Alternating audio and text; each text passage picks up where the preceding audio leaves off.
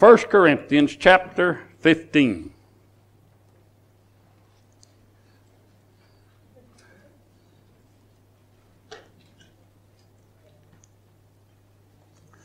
I want to just separate this verse from the context. Don't think it'll do great harm, but uh, I want to separate this verse, which is verse 45.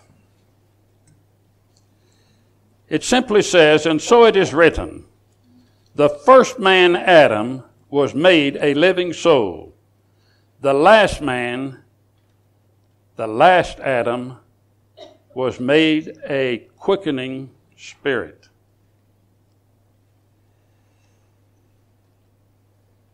What is said in this verse goes beyond my human comprehension. So, with the help of the Holy Spirit, it's going to help introduce our subject for this conference the things that I have to say about this verse.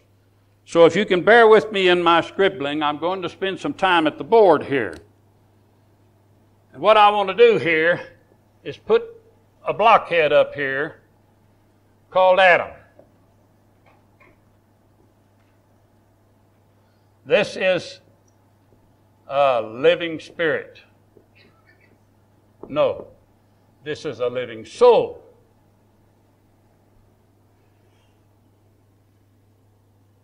You really understand what a living soul is. God breathed into Adam a breath of life and made him a living soul. You'll be surprised how miscomprehended that statement is by great numbers of people. There are some that believe that at that moment everybody receives something from God. Air is not God, it's something that's all around us here. So he breathed into them air, like if I gave resuscitation to somebody who had lost their breath or drowned or something, had water in them. Uh, I wouldn't be giving them any part of myself. I'd be giving them air that's out there for everybody. You have to have air. So a living soul constitutes air. A living soul is what we are. In fact, another word for this would be self. What is a human self? It's a living soul. A human self is the accumulation of everything that's gone to make that human who they think they are or who they think they should be. So that puts a whole list of stuff that constitutes a living soul. Every human has a living soul. He can live and die in that understanding, a soul. But he can easily have a misunderstanding.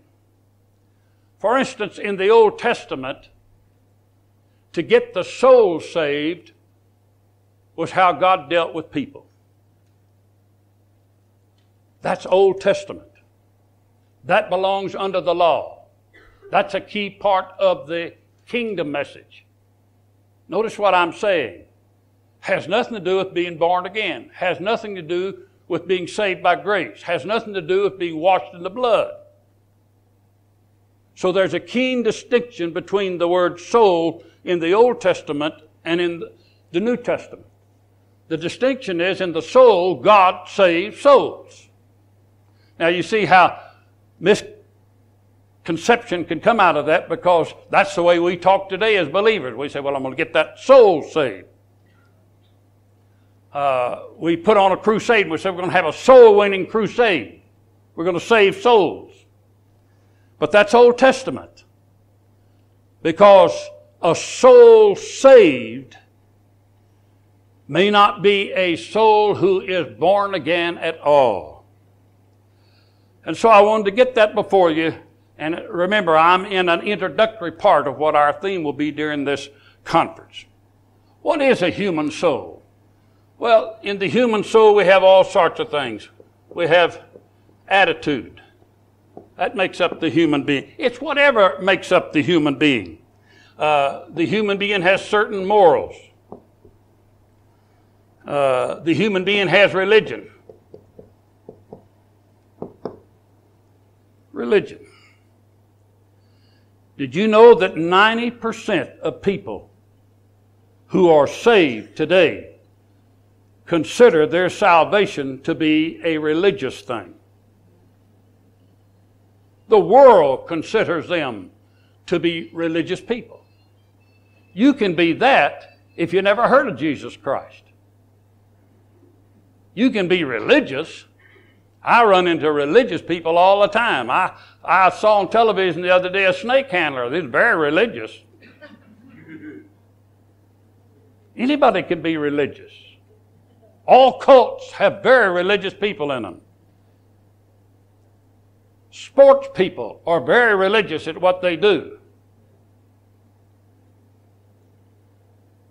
So that doesn't have anything to do with a change in nature, which we'll get to later. So a living soul can be very religious.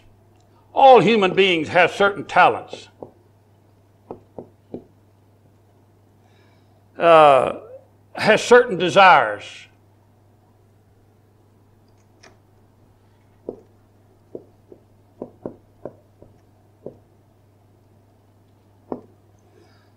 Every human being has unique abilities.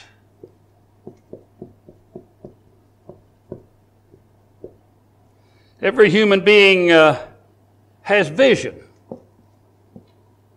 Sane ones do. They have a personality.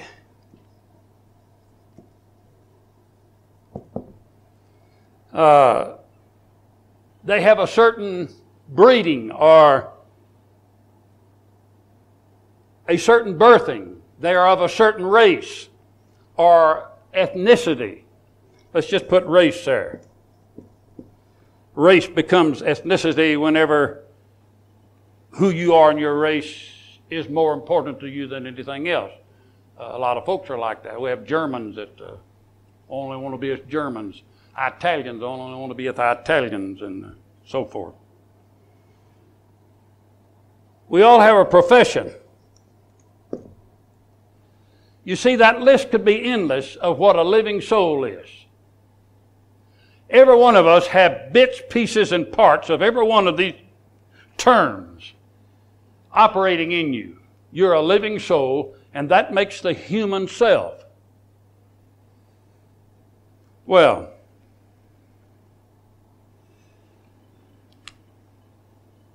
over here, we're going to put another circle. This circle is Christ.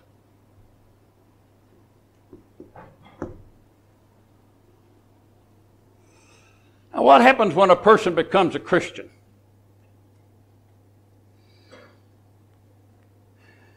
The definition of what a Christian is is an unknown factor, technically. I don't think anybody has ever really discovered all that a Christian is. To most people, a Christian is a makeup of any number of things. And finally, when you get settled in some building somewhere, it has a special name on it. That's what a Christian is. So that's a growing thing, a Christian. But we've gone beyond that point to where we see that we're in Christ. The human being is in Christ. Now, this is what I want you to see at some juncture of life, everything this living soul is, is going to have to become a part of Christ if it becomes God's intention. Our text says,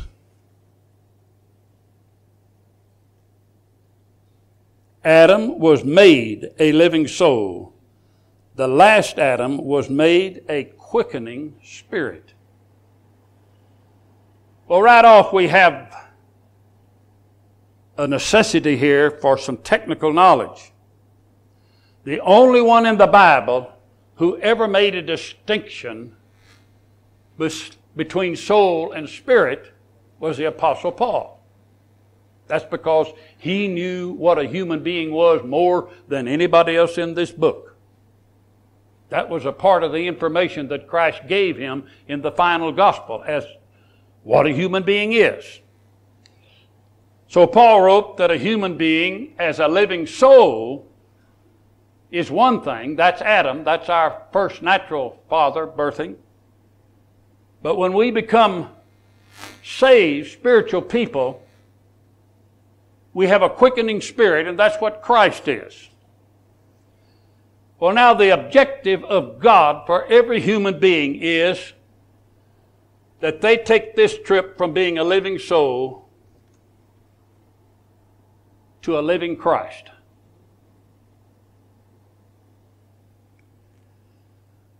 We have scripture for that.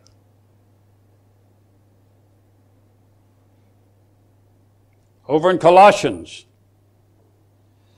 first chapter, verse 13 says, and you need to mark this. It says, Who hath delivered us from the power of darkness and has translated us into the kingdom of his dear Son. Ah. What was to happen when you were saved?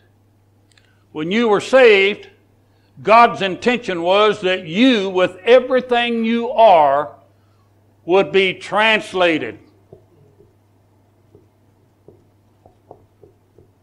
into Christ. Well, it says into the kingdom of his dear son. So what we're going to have to do here is digress for a moment because this is a very important subject. The word kingdom is used many times in the New Testament, but it must be rightly divided when it is read. Because when Jesus says it, it means something entirely different than when Paul says it. When Peter says it, it means something entirely different than when Paul says it.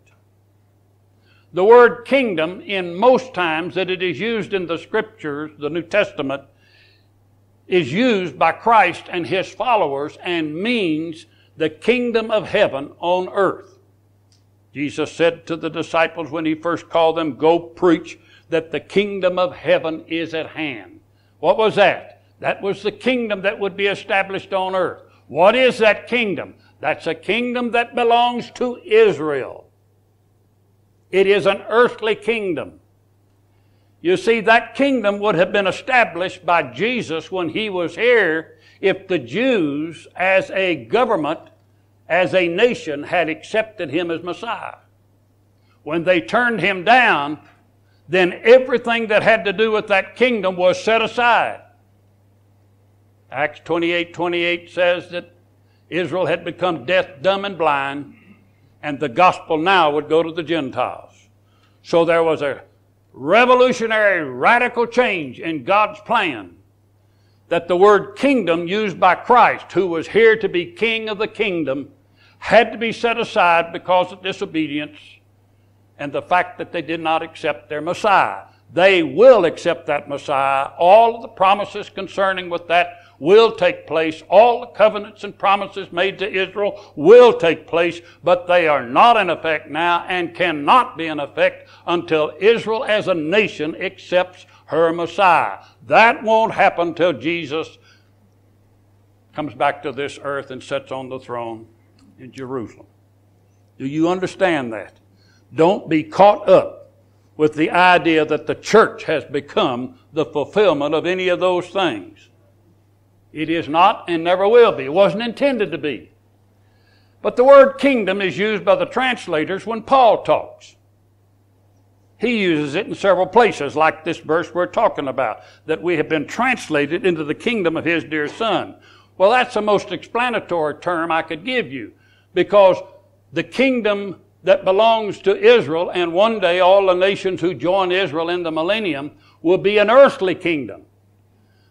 But when Paul says we've been translated into the kingdom of his dear son, that's a heavenly kingdom. That's a whole different state. That's a whole different location and has a whole different meaning. Sadly, the translators did not explain all that just by using the word kingdom.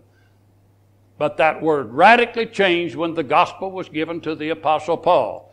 You'll find that Paul in his last days was sitting in the rented house he had still under uh, Roman bondage, and it says that he was teaching people about the kingdom of God. But what was that kingdom? That was the kingdom of his dear son. Paul never at any time taught that any part of the kingdom that belongs to Israel belongs to any born again believer. Why in the world would I want this earth even made better when I have a home with my Father in heaven? So the scripture's clear on that if you're ready to see it. Well, here we have a living soul. And the scripture says, We have been translated into the kingdom of His dear Son. Isn't that good? Doesn't that fit everything Paul teaches us? We're in Christ. We've been baptized into His body in Christ. Everything's in Christ in Paul's message. And so we were translated there. That's a, that's a good word. Because that's not a word that just says uh, uh, you woke up one day and you was there or you, you did a lot of good works and you got there. It means that God, by His grace, translated every one of us into the kingdom of His dear Son. Sounds good, doesn't it? But you're probably still wondering how you got there. Because most believers have a greater consciousness of being a living soul and identified with the first Adam than they have with the last Adam, Christ. Our identification is still in all of these things. That's who we are. We're not going to spend a lifetime getting rid of those things. We're going to spend a lifetime trying to perfect them. Some spend a lifetime making some of them worse. But the endeavor of a human being is to make better certain things that have happened in his life. So we're all spending our life trying to get a better attitude, better morals, a better religion, better desires, better profession. We're all after something better. All of this has to do with Adam. That's just natural. When you came into this world, your mother and father were recipients of the seed that came from Adam back in the beginning. So your great, great, great, great grandfather is Adam. You are of the seed of Adam. Now, if God's going to have a family of His own, He'd like not to have it premised on the one fellow who fouled up everything on this earth. You see, the reason why God gave the earth to Israel was that it was His hope that Israel would obey Him and do something that Adam had not done. Adam was given the power to rule over the earth. I give unto you power over all the things that are alive, over every tree, every animal, everything. God gave him the power and authority to run this world. And it might help you to know that there's not going to be any forthcoming politicians that'll ever be able to run this earth. Are you aware of that? Nobody since Adam has ever been able to run this world. Well, there'll be a bit of a change in that for a few days when the Antichrist comes along, but that's a part of the business that has to do with Israel, it has nothing to do with us. But nobody has ever had the power and authority to do anything on this earth, to run it, to make it right. We got translated into the kingdom of His Son. But you see, there's not very many people who teach that. You see, when you were put into the kingdom of this Son, you were no longer a squarehead with Adam. You became a believer in Christ. That's your position. That's your standing with God. How is it you lived all your years and didn't know about that? How is it you grew up probably in a good church, good preachers, and they never told you about being in Christ? How is it you read all the books you read in religion and never were gripped by any statement in it that said you were in Christ and Christ was in you. How did that happen? I have people ask me that all the time. I ask myself that. Oh, back in 1960 when I first saw the in Christ message, I said to God, How could I have been trained? I've been through university, seminary, I've uh, been the head of two different colleges, and I've heard the greatest speakers and the greatest preachers in our day, and I never heard any of them talk about this.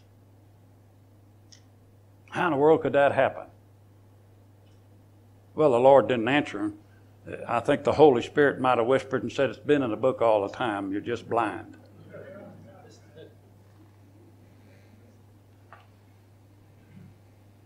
How did it happen? How did it happen? How is it happening that you can live a lifetime today and never come to that knowledge? So, what is it religion does?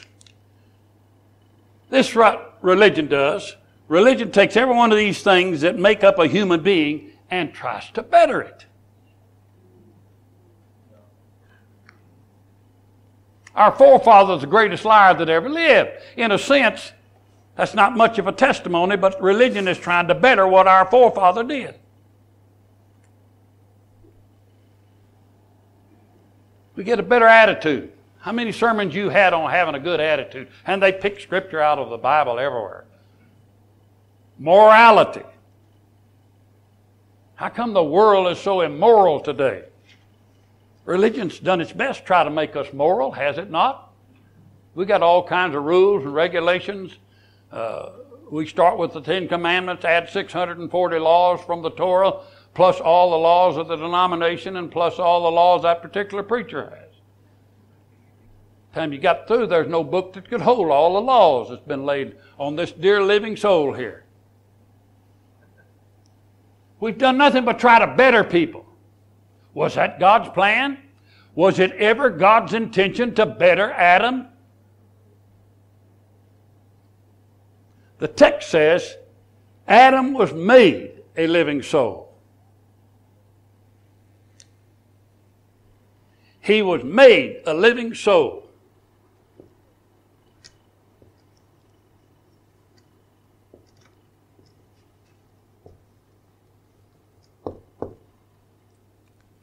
You'll never understand God's plan until you separate soul and spirit. Why did Paul say that? Where's that? Over in Hebrews 4? God gave him that information as a part of the final gospel because if human beings didn't understand the separation of soul and spirit, they would never come into God's plan. That's why you can sit in a church building for 50 years and never hear the in Christ message. It's because soul and spirit have never been separated. The preacher's still trying to get your soul saved. And your soul never will be saved. That part of you never will be straightened out. In fact, when the gospel went to the Gentiles, God gave up trying to straighten out human beings. I hope this is a help to some of you that are trying to get it all fixed right. Because God never intended to straighten out your life. You say, well, I thought that's what the Bible is all about. Not at all not the final gospel, the gospel of the kingdom, which has to do with all of these things that are earthly, always tells you to get such and such straightened out. Stop doing this, stop doing that. Commands here, commands there. Law here, law there. The Apostle Paul never lays down one law in the final gospel. God's not going to straighten out human beings anymore. The Apostle Paul never dealt with getting souls saved anymore. God took care of that himself because when people were filled with the Holy Spirit, where does the Holy Spirit work? Only in the soul. Where is the life? In the Son, Christ.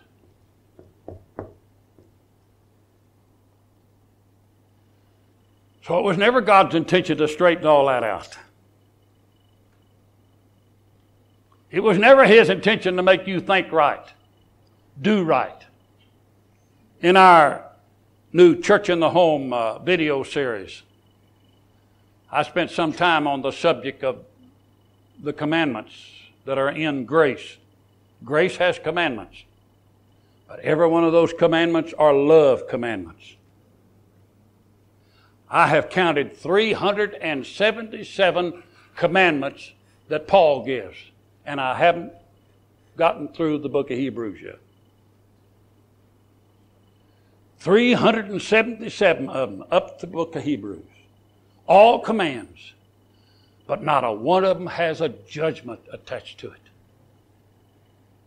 Not a one of them says if you don't do this, you'll go to hell. Not a one.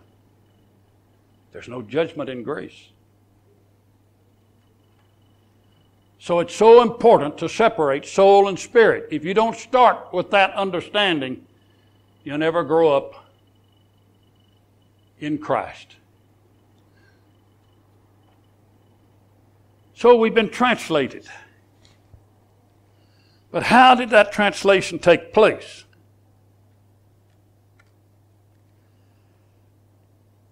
Out of this little scribbling I've done on the board, I've left out the most important thing God ever did. It's the connection between these two lives.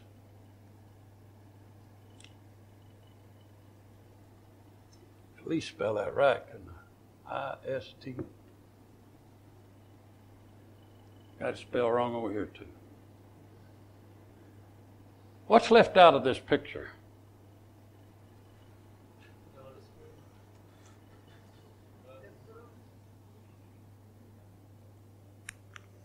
Most important thing God ever did. When I make a blank statement to you that says God never intended that you live the Christian life,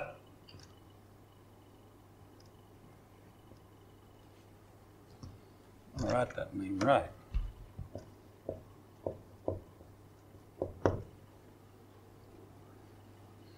When I say to you that God's not in the business of straightening out your life, how in the world can I get by with that? Because that's what you think religion is, and actually that's what religion is. Religion is man's attempt to straighten us out, to correct us, to get us fixed right, to open us up to any and all things that was in God's intention.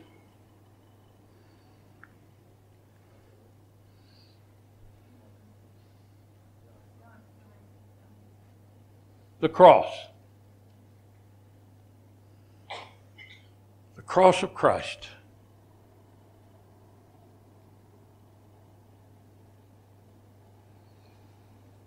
God has to do something Himself that's akin to the creation of a living soul, the first great thing he did to get this thing fixed. He did it at Calvary. He did it at the cross.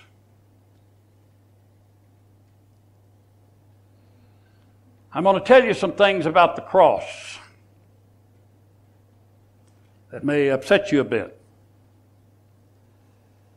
But when people come to me and say, Why didn't we know about the in Christ message?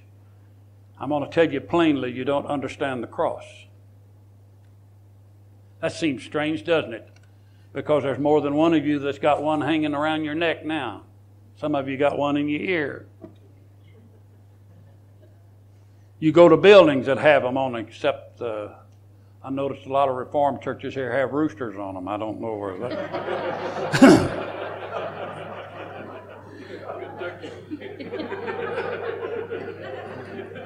I, I never have figured out what that meant. But the cross.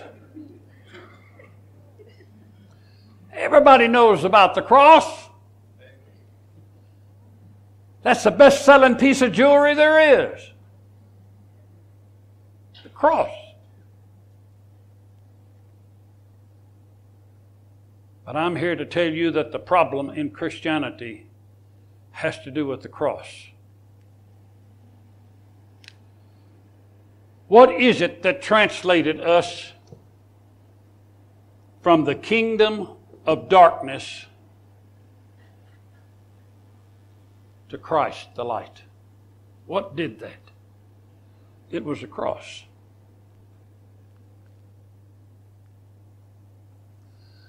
So I want to tell you something bluntly. The cross belongs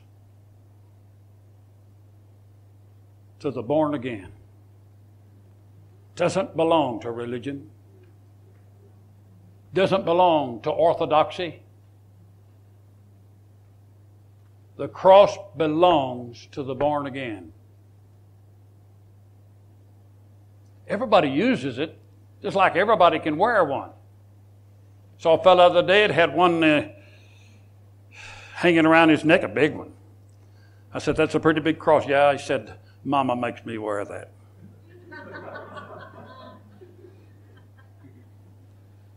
but it didn't belong to him. Cross really had nothing to do with him. How many songs we have written about the cross? It's a very popular thing. So I'm going to tell you that the cross really belongs to grace.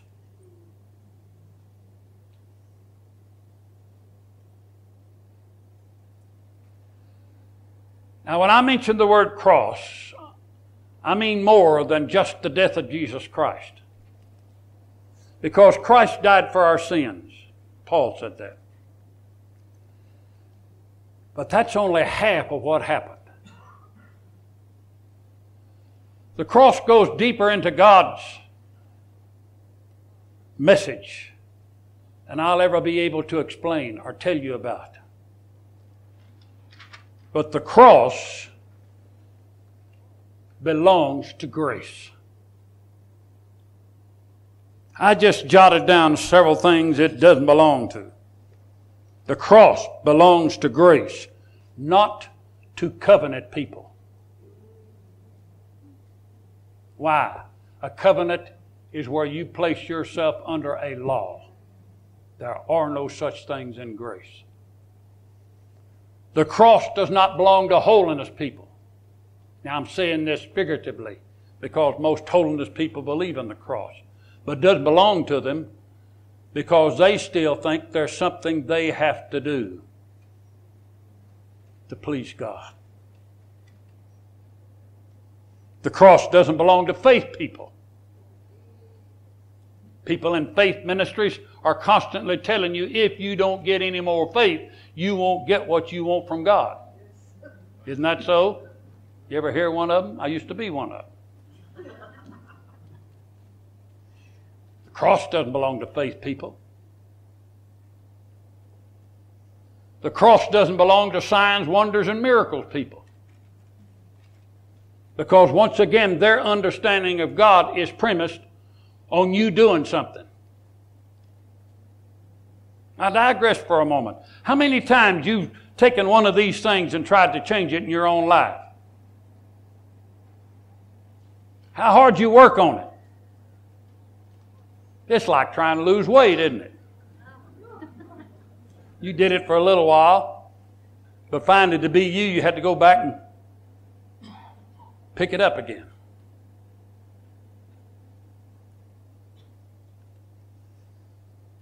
Cross doesn't belong to circumcision people. Cross doesn't belong to Judaizers. That's the people who are trying to get the church to take over Israel's covenants and promises.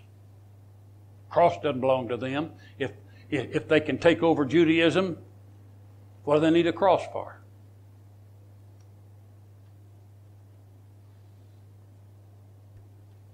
Cross doesn't belong to Pentecostals. Now, all of these people I've mentioned that you are attaching names to as I gave them to you are people who preach the cross one way or another, but doesn't belong to them. Because as long as anybody works at attempting within their own selves to become something, they don't need this cross. As long as you think you have to do something to please God, you don't need the cross.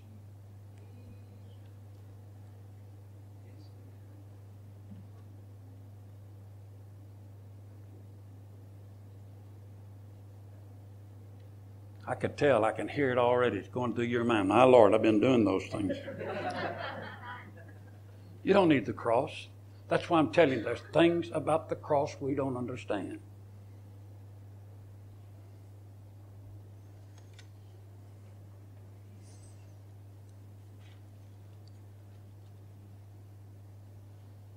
Don't come to me and tell me that you believe in salvation that you received at the cross.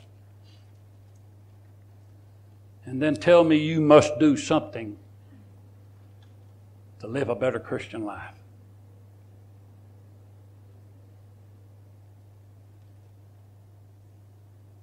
They don't mix. They're two different things.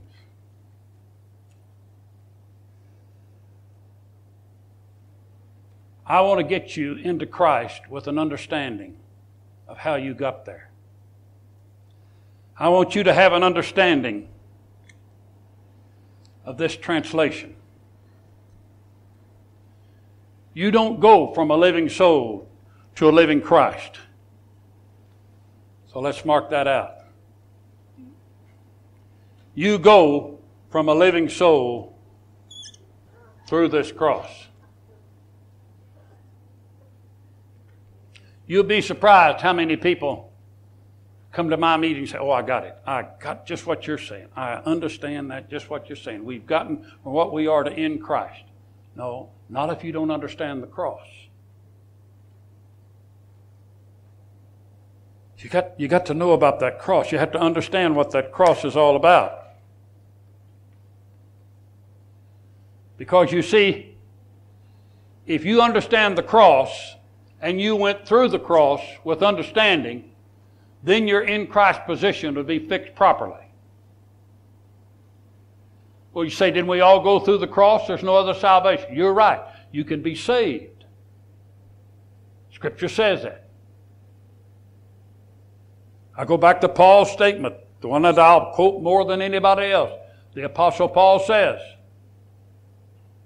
that we're saved by the cross.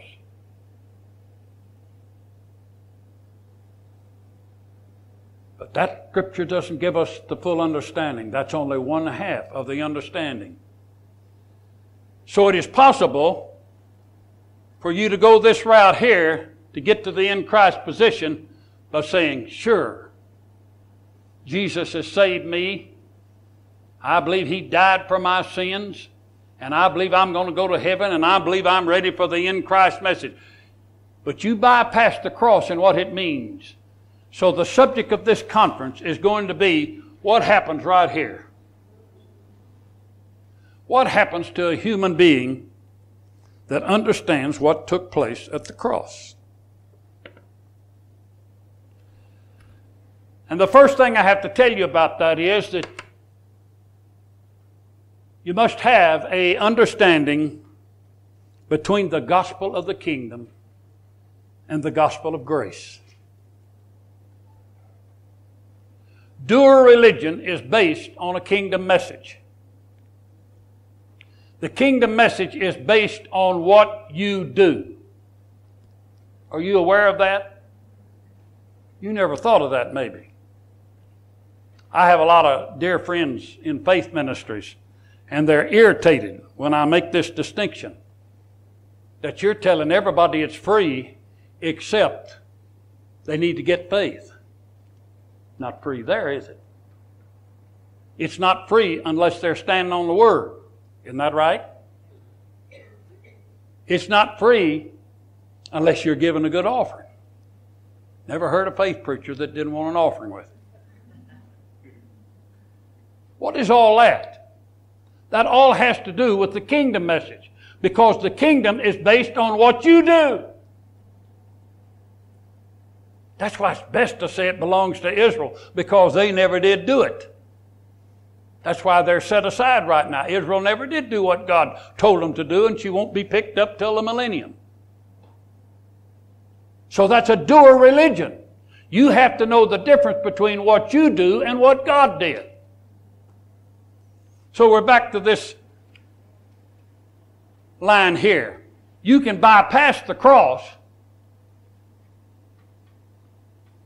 by saying, Yes, I've already believed on the Lord. You talk to somebody about the Christ. Yes, I believe that. Yes, I believe I'm in Christ. You ever talk to anybody like that? They just come right out and say, Yes, I believe that. That's what I've always believed. That's what my preacher preaches. You know what they did? They bypassed the cross. That didn't mean that the cross is not where Jesus died for their sins. It means that in their own personal life, they don't understand the cross. The kingdom message ignores the cross. We'll get more into that in a moment. So you have to know the difference between the gospel of the kingdom and the gospel of grace. This is why our preachers so violently fight grace. They like to say we're sinners saved by grace, but don't take it too far, or I won't have you doing anything we need to have done.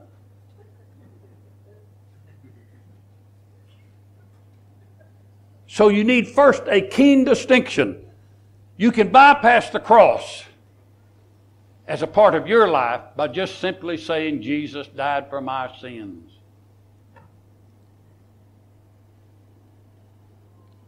Another thing you need to see.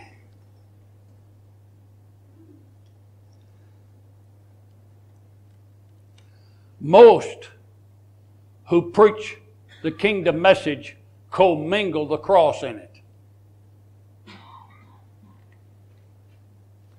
Let me show you the difference between somebody who says Christ died for our sins, and when he died, they put stripes on his back, and by his stripes we're healed. Believe that. What is in that statement? Two things something you must do, and something God did. What do we call that? That's a commingled gospel. Commingled. You know what commingled is? You got a whole bunch of stuff and it's like braided hair. I saw a bunch of it here a while ago. Commingled hair, braided, all mixed up. You can make it look pretty. I've seen some braided hair that's beautiful. A gospel could be like that, commingled, all mixed up to where you hear a statement here and a statement there, and you say, well, look at there, it's all there. It's saying the whole thing. It's commingled. Remember, anything that's mixed up is not pure. Not talking about hair now, I'm talking about truth. It's mixed up. The gospel of the kingdom message does not present the cross as an intricate part of God's plan.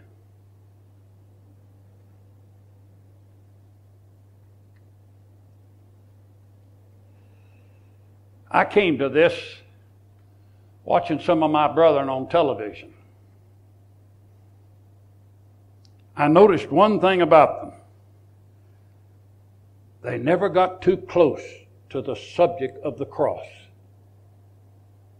The subject was happiness, joy, peace, health, healing, deliverance, but never was it the cross in its proper distinction.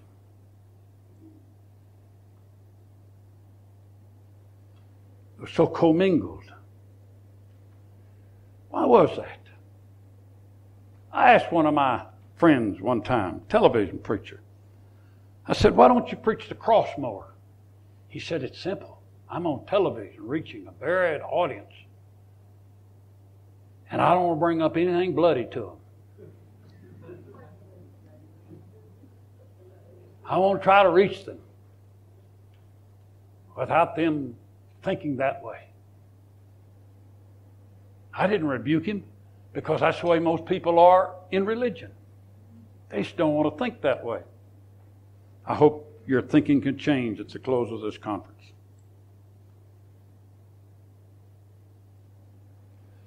Let's look at the record. The first message we have in the Bible after Jesus died on the cross was preached by Peter on the day of Pentecost.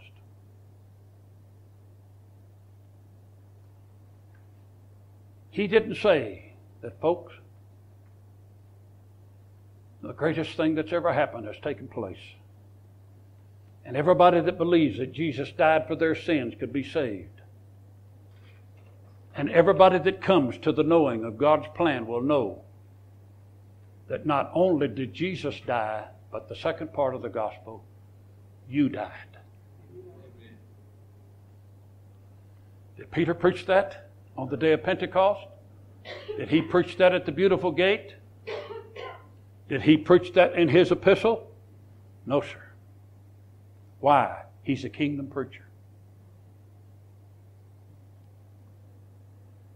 He doesn't preach the cross.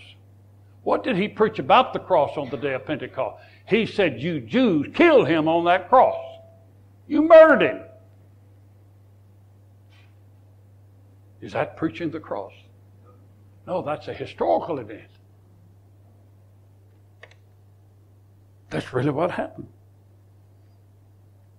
I've always thought that not only was the Holy Spirit so moving on that day that 3,000 got saved, but time Peter got through preaching law to them, they were afraid to move away and not believe on Jesus Christ. You made murderers out of all of them. They needed to do something. You ever been to a church service like that?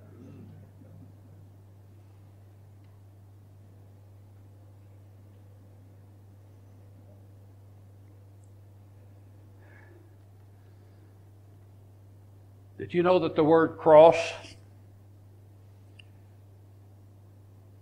is mentioned in the four Gospels only as a historical event?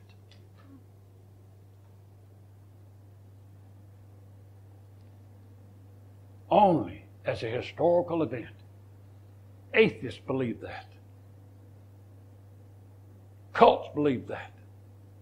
Romanism believes that. Most preachers preach that. But the cross is never mentioned as a place where lives are changed in the four Gospels.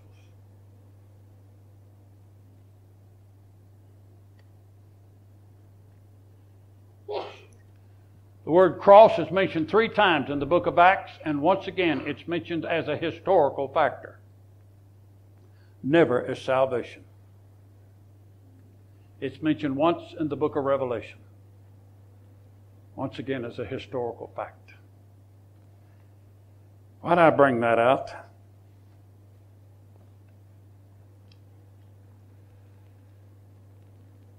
It's because I think we don't know and understand what happened at the cross. Six times in Paul's epistles, he gives us a depth scripture as to what happened at the cross. He says, God forbid that I should glory in anything except the cross of Christ. The apostle would say,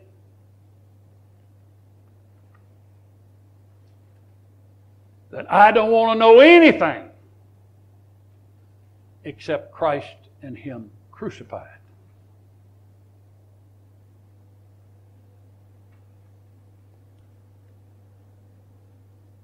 So we have to go to Paul to find out what happened at the cross.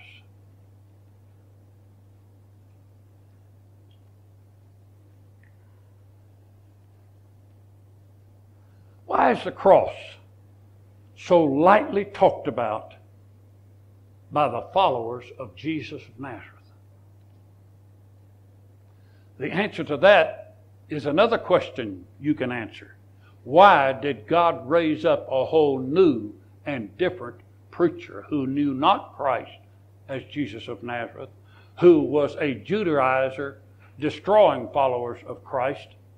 Why did God have to do that? Because if our Bible had been left without Paul talking about the cross, we would have never known what changes the life of a human being. We would have still had a gospel where everybody said, Yeah, I'm in Christ and I'm going to pray more so I can be more like Him. See, a mixed up message, an untruth. Why was the cross so hated? You need to mark this scripture, Galatians chapter 6.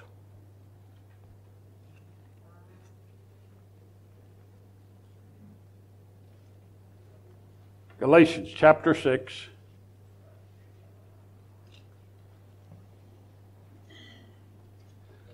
Verse 12.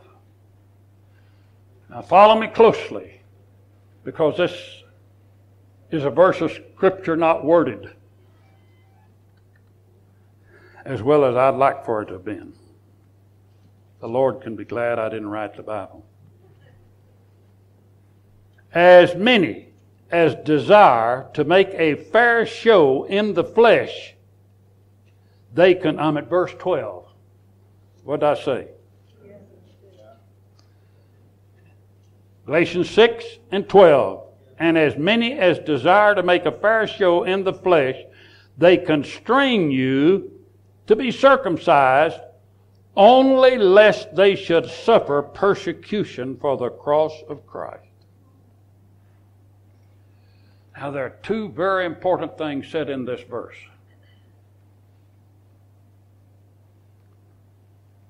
The first is where the followers of Christ, Judaistic believers, and kingdom people were in their walk. It's stated in that verse. There are many that want you to make a show of your religion in your flesh. What is that? That's the epitome of doing religion. I grew up in it. Grew up in a holiness church. If you don't do right, if you don't talk right, if you don't dress right, if you don't go to the right places, and if you don't do what the preacher says, heavy law. Why they want me to do that in the church? So the preacher could look down on the front row and say, folks, there's little Warren. He's living the life. He's holy. I was in a church service one time where the preacher looked down the front rows, and they had five women sitting there. He didn't have hardly anybody else in the crowd. but he said, There's the five most godly women there are. What was that? They made a fair show in the flesh. They made a fair show in the flesh.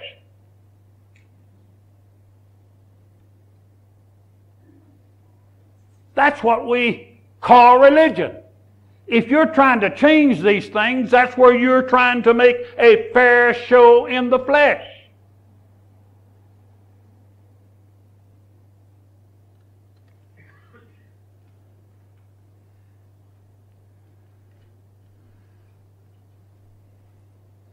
Why do so many people hate the cross? I laid the groundwork for it. I told you about a lot of religious people that won't have anything to do with the cross. You know why? Because the latter part of this verse says that if they preached the cross, there would be persecution on them because they had been demanding a fair show in the flesh. And the cross does not demand that. Makes no demand of that. These people hated the cross. It was there, they had to face it. Jesus died on it, but they disliked it. And the whole book of Galatians deals with that. We'll go back to that if I have enough time in this conference. You need to see that. They disliked the cross. Oh, thank God he died for our sins. But that only triggered in people, now we're going to use that as a means of demanding from people what we want them to be.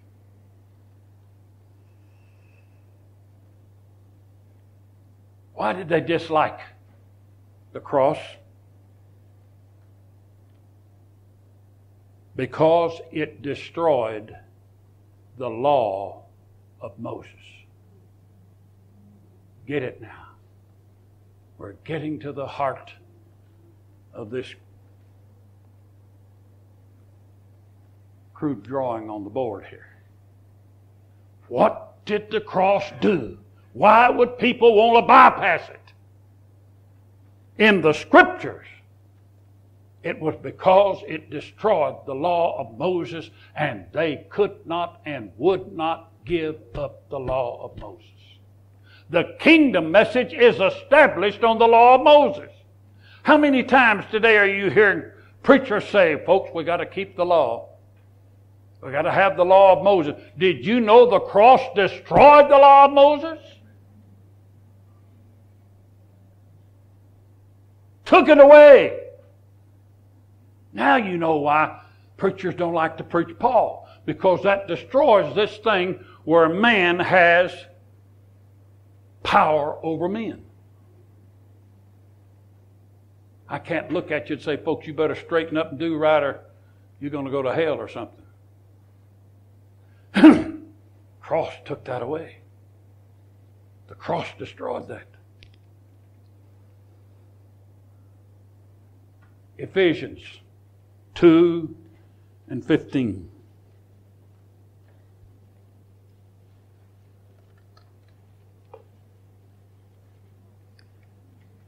Having abolished in his flesh the enmity, even the law of commandments. Would you circle that?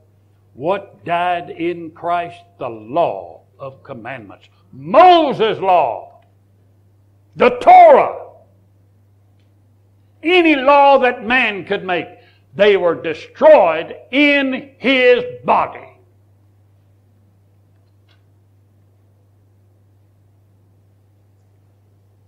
Having destroyed in his flesh the law of commandments contained in the ordinances Named it all there. For to make in himself of twain one new man, so making peace. That's why religion hates grace. Because you can't preach grace and not preach that the law died. Its ordinances, its commandments, they all died in his body on the cross.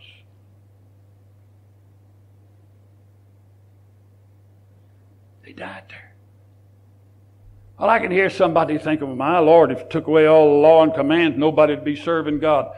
You're wrong. It's just the opposite of that.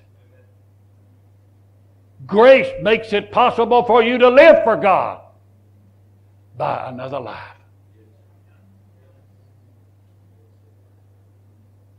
Grace is easy. Law is hard. In his body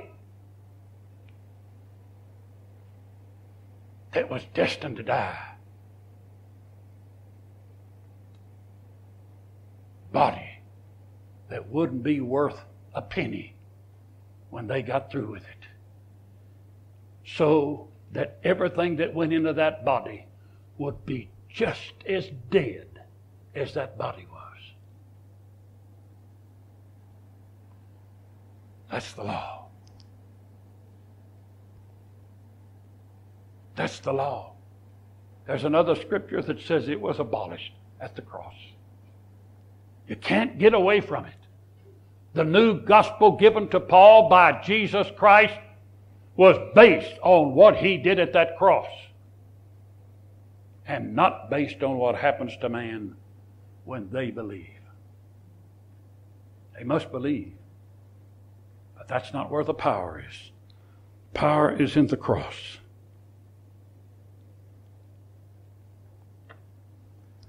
I want to ask you a question. If he bore it all, your sin and Moses' law and every ordinance, if he bore it in his body,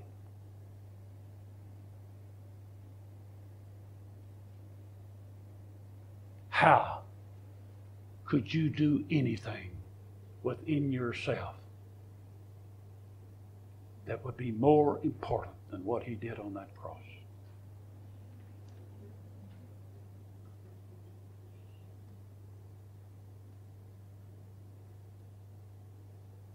First Corinthians chapter 1.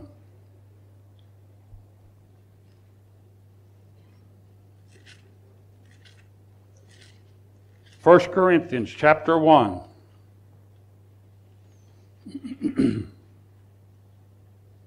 Paul has been talking about his water baptism experience. He talked about baptizing a few people.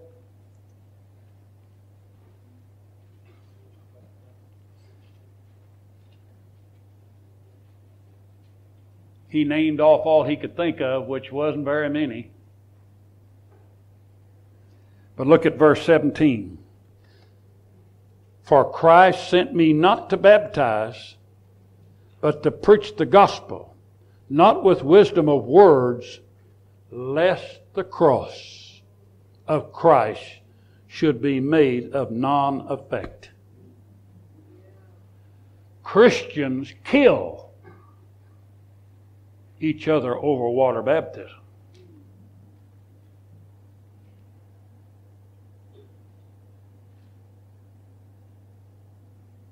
Why did Paul make this statement? Because there are a lot of people that don't baptize in water anymore because of this statement. Why did he make it? It came to him that when he had pulled these people to the water and put them into the water and brought them up out of the water, the thought hit him, my God, where's the cross in this? Am I having to finish something that took place at the cross? Am I to do something now that completes what Jesus did? Am I finishing what he did? He says, I'll never baptize another one. Why? Because of the cross. The understanding of the cross brought him to that place.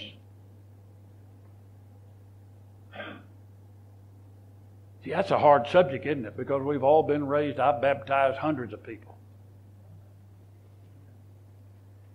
But I didn't have the message of the cross like I do now. Anything, anything you do, even a sanctimonious thing as water baptism,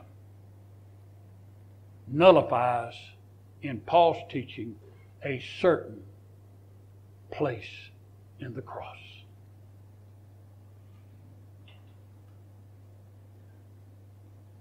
We're all taught that when you get saved, the first thing you got to do to, to make sure you're saved, make sure you're straightened out, make sure you're going to live it, is get water baptized. I've had people to come to me desperately.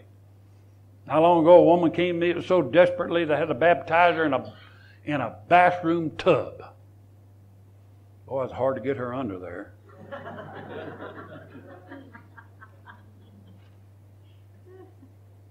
She was so desperate. She didn't feel safe, And I knew then that made, that made the cross void. You say, well, it's just a testimony to the world. When I want to testify to the world, I look at one of those crosses hanging around your neck or hanging on your wall, and I point to it and I say, that's where Litzman died. Another gospel. Another gospel. Go with me to Philippians 3.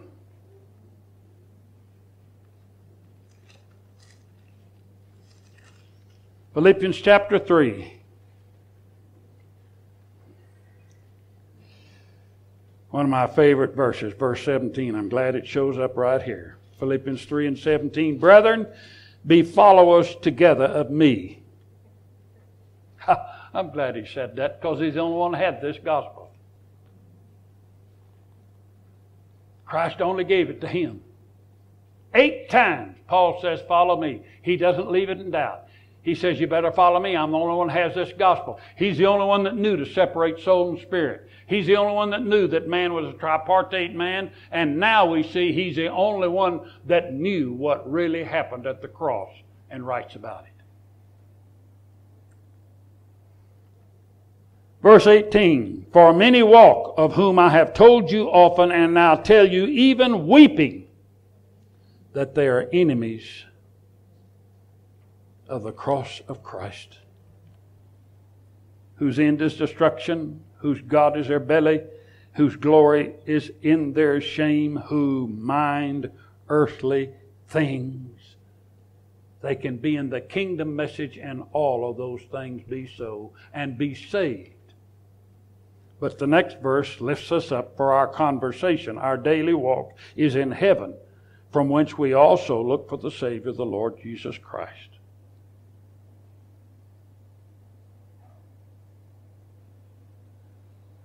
Now, if Paul stood before you. He would be honored. You're a blessed, gracious group of people. But if he stood before you, he would tell you that anybody that does not preach what I preach, I consider an enemy of the cross. He didn't just say that here. He started out in Galatians saying that if anybody preach any gospel other than that which I preach, let them be cursed, accursed. He never beats around the bush. He got the message from Jesus, and the message was different than anything else in the Bible. The message was different than the message of the kingdom. The message was different. Jesus brought a different message in grace than he did in the kingdom. Why? The kingdom message belongs strictly to Israel. But the message of grace belongs to whosoever believeth.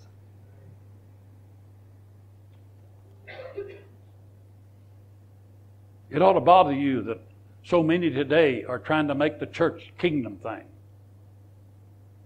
It ought to bother you that they could be so ignorant in the scriptures and not rightly divide the kingdom and the church.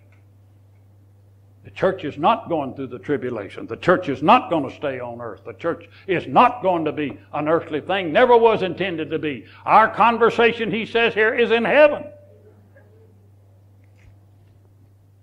Where our daily walk is.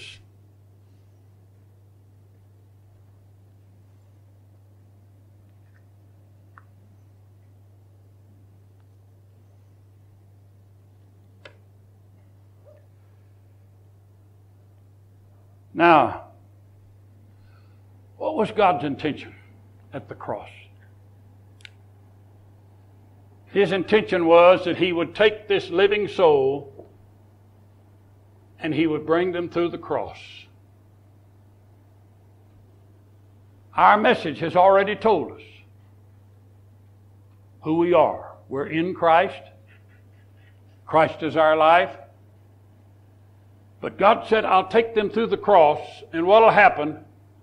This believer is not only going to believe that Christ died for their sins, but that believer is going to have to believe that they died also.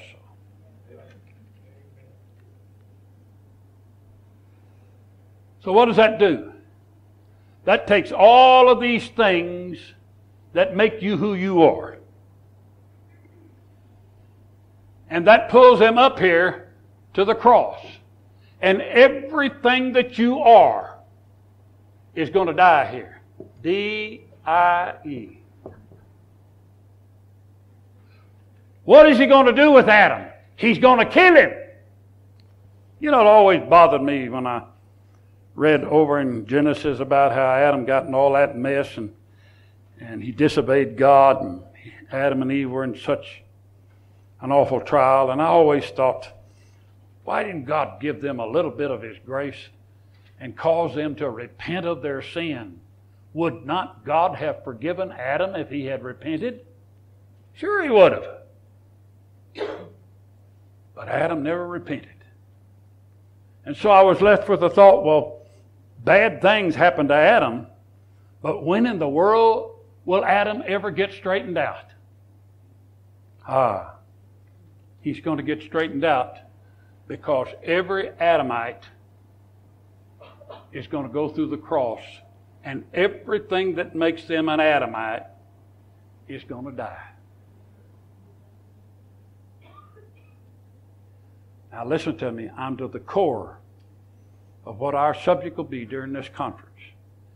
Everything that makes you you was brought through the cross, and when He died, it died. Your attitude, your morals, your religion, your talents, they all died. Where are new creatures made? At the cross.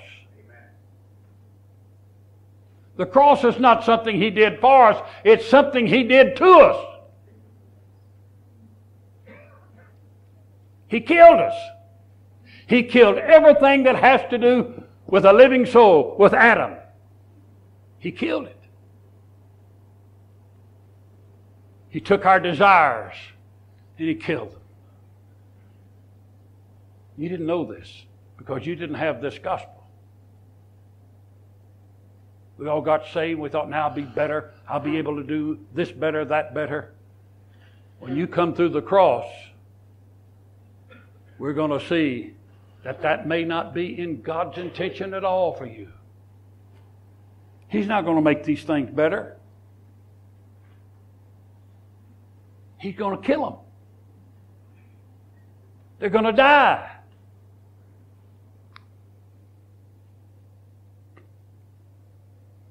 Philippians 3. We're already there. Let's look at something. Philippians 3.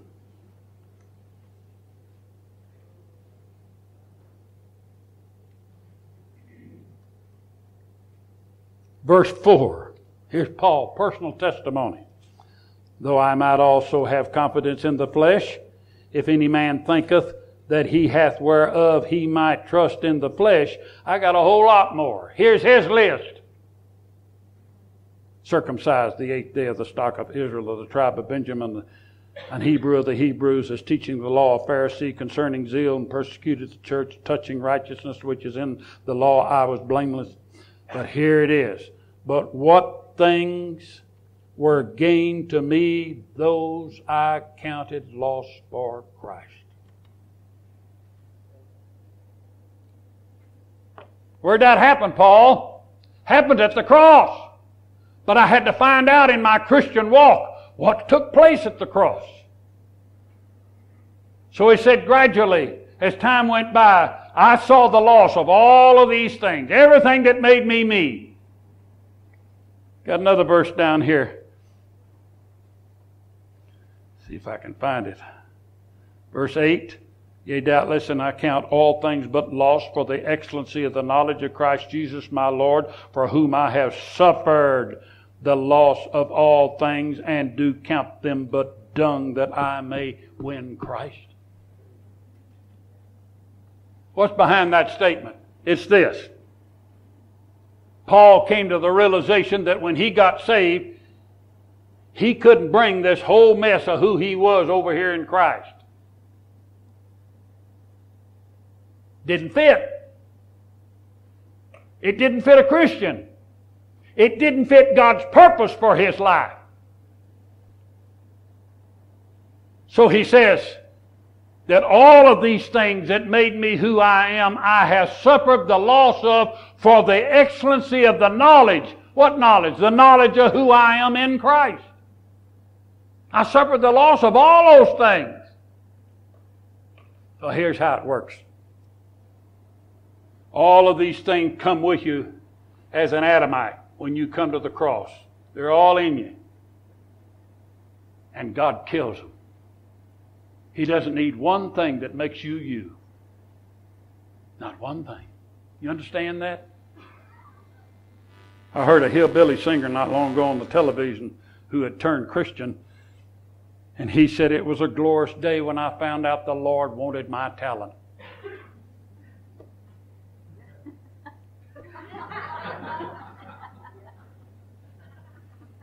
My first idea was, well, if God's no bigger than this guy, But that guy was wrong. God didn't need him. God loved him and wanted him saved, but he didn't need any of his talent. He didn't need anything he had. He just wanted him. So when you bring all of this stuff up to the cross and you go through the cross, it dies. What happens? You come out of the cross a dead man.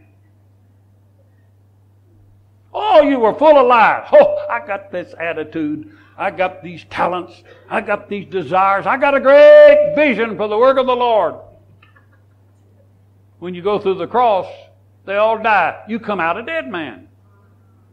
I am crucified with Christ, killed. Nevertheless I live, yet not I, Christ, liveth in me. You see it? Okay, we finally get this old squarehead over here in Christ. Now his life is not his own. Not his life anymore. It's not me that lives, it's him. I got that fixed. It's him that lives. Well, I wonder if there's anything about me he likes.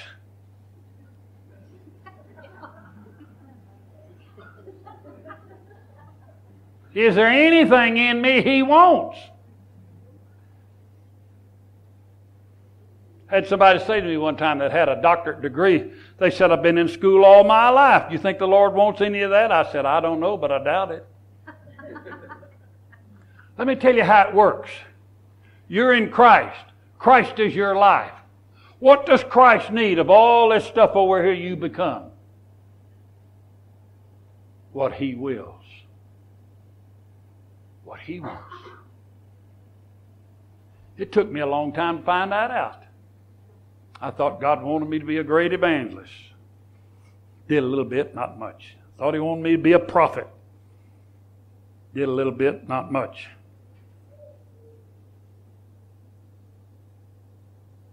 always was asking God, what do you want me to do?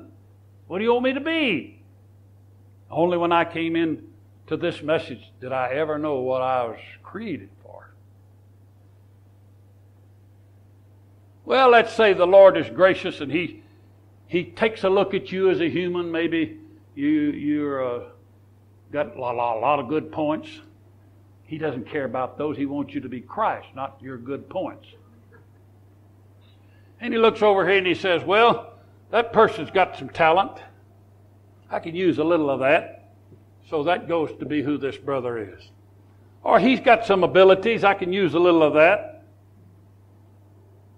Or he's got some vision. I can use a little of that. It'll take you your lifetime to find out who you are. You're not going to find out what God wants you to be or who you were created to be by asking Him to help you in what you are now. After you've been through the cross and you died, you were born again.